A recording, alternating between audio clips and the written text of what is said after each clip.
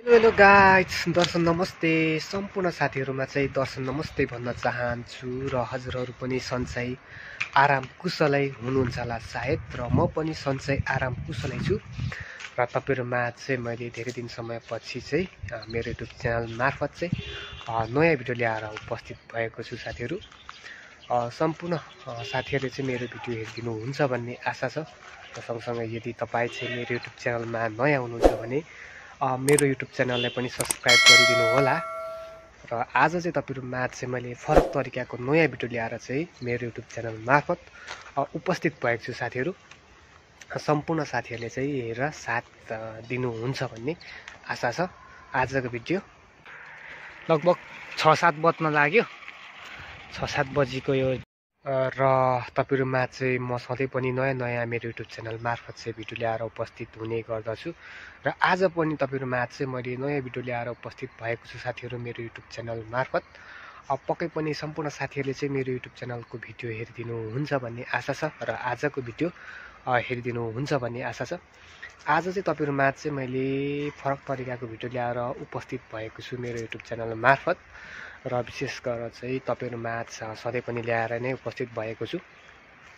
र अहिले म चाहिँ हाल क्रोसिया अर्थात् दुई हजार तेइस जनवरी एकदेखि तपाईँको सेन्जेन एरिया भनौँ युरोपको क्रोसियाबाट चाहिँ तपाईँहरूमा आज भिडियो ल्याएर उपस्थित भएको छु। सधैँ पनि तपाईँहरूमा आज चाहिँ म क्रोसियाबाट भिडियोहरू क्रोसियाको बारेमा अर्थात् नेपालको बारेमा चाहिँ नयाँ नयाँ भिडियोहरू ल्याएर उपस्थित हुने गर्दथे वास्तविक भिडियोहरू।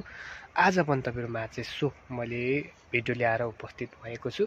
हाल क्रोसियाबाट तपाईँहरूलाई पक्कै पनि जिज्ञासा र तपाईँको मनमा लागेको कुरा हुनसक्छ आजको भिडियो के होला भन्ने कुरो। म तपाईँहरूलाई आजको मेन पोइन्ट चाहिँ सुरु गर्नुभन्दा पहिले म थोरै क्रोसियाको बारेमा चाहिँ बताउन चाहन्छु। क्रोसिया चाहिँ एउटा स्मल कन्ट्री हो जहाँ चाहिँ जनसङ्ख्या पनि कमी नै छ र यहाँको हावापानी एकदमै राम्रो नै छ भन्नुपर्छ हामी नेपालीहरूको लागि। र यहाँ चाहिँ विभिन्न देशबाट चाहिँ काम गर्ने भनौँ वर्करहरू चाहिँ आएर काम गरिरहेका छन् र यहाँको पनि गएको होला साथै। र यहाँ चाहिँ विशेष गरेर चाहिँ आज म कामकै बारेमा चाहिँ तपाईँहरूमा आज चाहिँ छलफल गर्नको लागि यस भिडियो अन्तर्गत उपस्थित भएको छु साथीहरू। र यहाँ चाहिँ अब नेपालदेखि लिएर नेपाल इन्डिया फिलिपिन त्यहाँदेखि लिएर तपाईँको केन्या होइन? विभिन्न देशबाट चाहिँ क्रोसियामा चाहिँ काम गर्नको लागि चाहिँ भनौँ आइरहेको देखिया छ र वास्तविक कुराहरू बुझिया पनि छ। यहाँको काम कस्तो छ होइन? काम कस्तो कस्तो कस्तो कामहरू चलिरहेको छ कस्तो कस्तो कामहरू चाहिँ हुन्छ यहाँ क्रोसियामा र सँगसँगै कतिसम्म चाहिँ यहाँ चाहिँ तपाईँको कति चाहिँ तपाईँको गभर्मेन्टले चाहिँ यहाँको बेसिक चाहिँ कति छ भन्ने कुराहरू चाहिँ समग्रमा तपाईँहरूलाई मैले अस्ति नै पनि अर्को भिडियोमा भनिसकेको छु। र आज चाहिँ तपाईँहरूमा र आज चाहिँ तपाईँहरूमा क्रोसियामा धेरैभन्दा धेरै चाहिँ हाम्रो नेपाली दाजुभाइ तथा दिदीबहिनी कामदारहरू चाहिँ प्रा- दुई हजार सोह्र सत्र अठार हेरी दुई हजार तेइस चौबिसमा चाहिँ धेरैभन्दा धेरै चाहिँ भनौँ काम गर्नको लागि वर्किङ भिसामा अर्थात् सिजनल भिसामा चाहिँ आइराख्नु भएको छ। र विशेष गरेर चाहिँ आजको मेन पोइन्ट भनेको चाहिँ के छ भन्दा चाहिँ अब हामी नेपालीहरूको लागि होइन? नेपाली अर्थात् अन्य देशहरूको लागि चाहिँ हाम्रो नेपालीहरूको लागि चाहिँ प्रायः अ, हाम्रो नेपाली दाजुभाइहरू चाहिँ कति वर्षसम्म चाहिँ क्रोसियासम्म चाहिँ भिजा लाग्दो रहेछ र कति वर्षसम्म चाहिँ आउनु पाउँछ भन्ने कुरोहरूलाई म आज मेन पोइन्ट राखेर भन्न चाहन्छु र सँगसँगै आजको मेन पोइन्ट भनेकै यहाँको उमेर होइन? कति वर्षसम्मकोलाई चाहिँ क्रोसियामा चाहिँ भिसा दिइराखेको छ त आइरहेको छ त? र सँगसँगै यहाँ चाहिँ मेडिकल चेक चाहिँ कस्तो हुन्छ त? यो बारेमा चाहिँ तपाईँहरूलाई मेन पोइन्ट राखेर तपाईँहरूलाई चाहिँ भिडियो आज। यसै अन्तर्गत चर्चा गर्न चाहन्छु। पक्कै पनि यदि तपाईँको जिज्ञासा मनमा लागेको कुरा छ भने पक्कै पनि कमेन्ट बक्समा र विशेष भन्नुपर्दा चाहिँ तपाईँहरूमा म सधैँ पनि भिडियो ल्याएर उपस्थित भएको छु। आज चाहिँ मैले अघि पनि भनिसकेँ तपाईँहरूमा चाहिँ आज के को बारेमा भिडियो मैले के को बारेमा भिडियो ल्याएर उपस्थित भएको छु भन्ने बारेमा। आजको भिडियो भनेको चाहिँ यहाँ चाहिँ कति एजसम्मको चाहिँ आउन सक्छ त? नेपाली दाजुभाइ दिदीबहिनीहरू दाजुभाइ विशेष गरेर चाहिँ कति वर्षसम्मकोलाई चाहिँ भिजा लागिरहेछ त भन्ने बारेमा भन्न चाहन्छु। विशेष गरेर चाहिँ यहाँ चाहिँ अहिले मैले देखेअनुसार जानेअनुसार चाहिँ तपाईँको अलिकति होइन भनौँ अलिकति नेपालबाट चाहिँ अब दुबई कतार साउदीतिर चाहिँ तपाईँको अलिकति एजको अलिकति उमेरको हकमा चाहिँ अलिकति अलिकति अलिकति यङ एजलाई नै प्रायः जस्तो चाहिँ मान्यता दिएर लाने गर्दछन्। अलिकति भनौँ न चालिस पैँतालिस कटेकोले चाहिँ लगेको खासै लाँदैन भन्नुपर्छ। अलिकति पुरानो छ भने लान्छ नभए नयाँ मान्छेलाई प्रायः जस्तो लागेको देखिँदैन। तर विशेष गरेर चाहिँ क्रोसियामा चाहिँ तपाईँको चाहिँ अठार वर्षदेखि चाहिँ तपाईँको पचासदेखि लिएर पचपन्न वर्षसम्म चाहिँ हाम्रो नेपाली दाजुभाइहरू चाहिँ आइराख्नु देख आइराखेको देखिरहेको छु मैले चाहिँ होइन। र भिजाहरू पनि लागिराखेको रहेछ लागिराखेको छ। र विशेष गरेर चाहिँ यहाँ चाहिँ भनौँ तपाईँको चालिस पैँतालिस पचास पचपन्नसम्मको चाहिँ नेपाली दाजुभाइहरू चाहिँ विशेष गरेर चाहिँ काम गर्नको लागि अर्थात् यहाँदेखि भिजिट भिसाको लागि चाहिँ विशेष गरेर चाहिँ क्रोसियामा चाहिँ भिजा लाग्दो रहेछ र आइरहेको पनि छ साथीहरू। यदि तपाईँको जिज्ञासा हुनसक्छ भने यो तपाईँको जिज्ञासा चाहिँ पुरा हुनसक्छ है साथीहरू। किनकि यो यो एजको कुरा गर्ने हो भने चाहिँ यति उमेरसम्मको दाजुभाइहरू चाहिँ यहाँ चाहिँ भिजा लागेर आइरहेको छ र तपाईँको जिज्ञासा हुनसक्छ चालिस पैँतालिस वर्षकोले चाहिँ भिसा लाग्छ लाग्दैन पचास वर्षकोले भिसा लाग लाग्दैन भन्ने हुनसक्छ र अहिलेसम्म चाहिँ पचपन्न वर्षसम्मको मान्छेहरू पनि क्रोसियामा चाहिँ भिजा लगाएर आइरहेको छ वास्तविक आँखाले देखेका छौँ र आएर काम पनि गरिरहेका छन् है उमेरको हकको कुरा गर्ने हो भने।